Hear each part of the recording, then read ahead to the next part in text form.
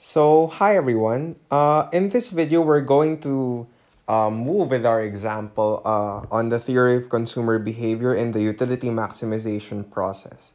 So, in the last video, what we did is we derived uh, the Marshallian demand functions for good 1 and good 2. So, those functions are this one, x1 here, and this x2 there. Notice that the Marshallian demand functions are functions of prices and income. So you see M there and you see prices there. And uh, that's the form of a Marshallian demand function in that you should expect that if you derived it correctly, you should see income there and you should see prices. So you shouldn't see any other quantity of a good there. It should just be a function of prices and income. Now, the Marshallian demand functions are extremely important in the theory of consumer behavior and that uh, these demand functions really underlie a fundamental law in economics, which is the law of demand. But before we get to that, there are a few properties okay, that Marshallian demand functions do satisfy. Okay, and the first uh, property that they satisfy is a homogeneity of degree zero in prices and income.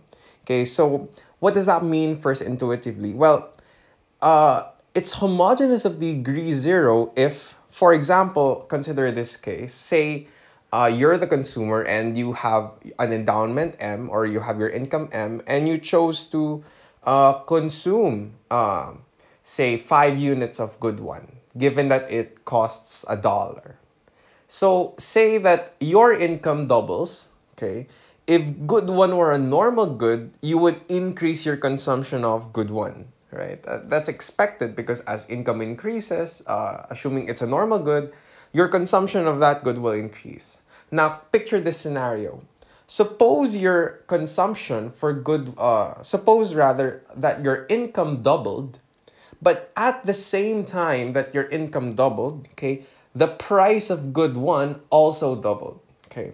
What would happen to your demand for good one? Well, in reality, if it's a if it's a property of a Marshallian demand function, your demand for that good wouldn't change because uh, in a sense, since prices doubled but your income doubled, uh, they will offset each other and there should be no change to your demand. So let's prove that property here. So it should be that if I multiply t, uh, say some scalar t, which is t greater than 0, to the Marshallian demand function for good one, Okay, so I'll do this for good one, and it should apply for good two as well.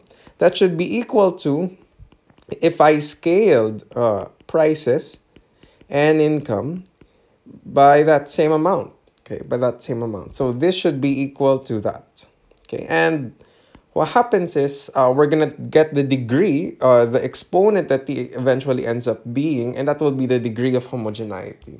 So let's solve for that. So we know that x1 star is alpha m over p1. But then what we're going to do is we're going to multiply t to m and to p1. So it's going to look like alpha tm over tp1.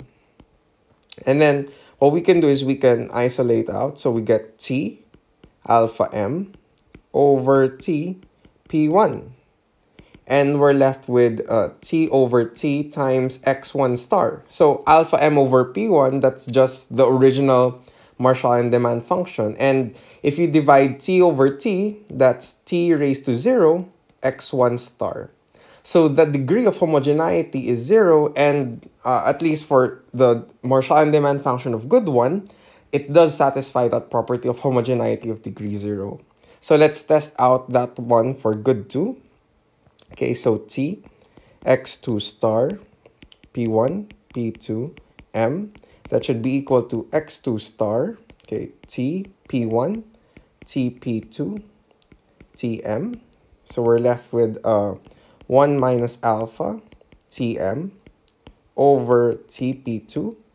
Again, T, 1 minus alpha m over Tp2 which is t over t x2 star equal to t0 x2 star. Again, 0 is the exponent, therefore, uh, the Marshallian demand functions for good 1 and good 2 are homogeneous of degree 0 in prices and income. Okay, so we have that. Okay, so that's the proof for homogeneity of degree 0 in prices and income. So let's move on. Okay, now another property of a Marshall demand function is that it's strictly increasing in income for the most part. Okay, so let's prove that. And we prove this property by just taking the derivative of a Marshall demand function, say x1 star, p2m, with respect to income. So if you recall, so I'll just write it down here. x1 star is equal to alpha m over p1 x2 star is equal to 1 minus alpha m over p2. Okay, so if I take the derivative of that with respect to m, okay, I get, uh, so I get alpha times p1 minus, uh, uh, copy the one, uh, so derivative of bottom, 0 times alpha m over p1 squared. Okay, we're going to be left with alpha p1, uh, this is 0, over p1 squared. We use quotient rule, and we're going to be left with alpha over p1.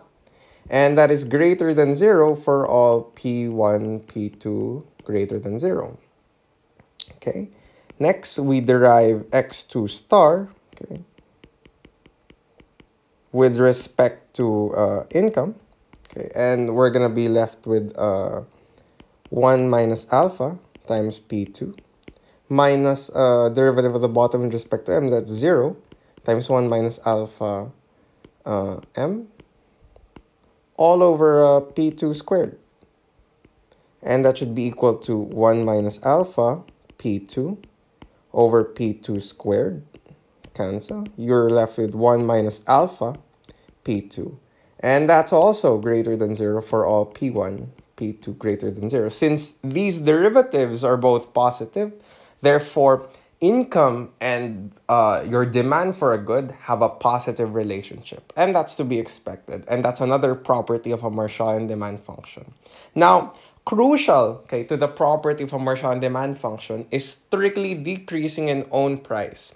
And this underlies, okay, underlies a fundamental law in economics, which is the law of demand.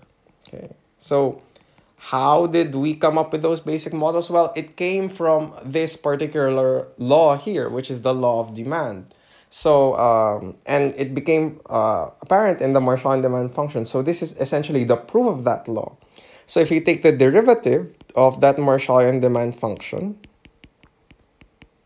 with respect to its own price, so for good one, its own price is P1, Okay, that's gonna be equal to, uh, so derivative of the one on top with respect to P1, that's 0 times P1 minus uh, copy on top. Derivative of uh, P1 with respect to P1, that's 1 all over P1 squared. We're gonna be left with negative alpha m over P1 squared. And that's less than 0 for all values m P1 greater than 0. So that derivative is negative and it implies the inverse relationship between prices and quantities. Because remember, your Marshall demand function is a quantity of how much you will consume. So as the price of the good goes up, the quantity that you will consume or demand for that good, okay, it's a Marshall demand function, will go down. And that's the origin of the law of demand. Okay, and you'll notice the same thing is true for good too. Okay, P1, P2, and M over, uh, oops, we forgot the partial P2.